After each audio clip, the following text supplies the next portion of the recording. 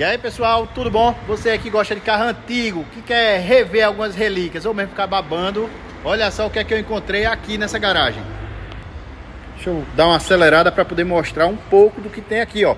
É o carro arretado mostrando cadete GSI, tem Golf, tem Fusca aqui, ó, última série. Tudo isso aqui é para vender. Isso aqui é na garagem do seu Zito, em Gravatar. Se por acaso você curte carro antigo ou mesmo quer rever aqui alguns clássicos do passado, olha só.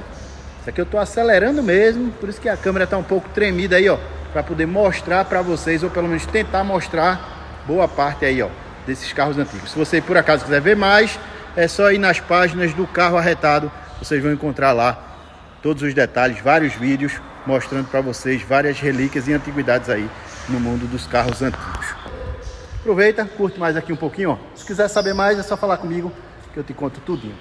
Valeu, tchau!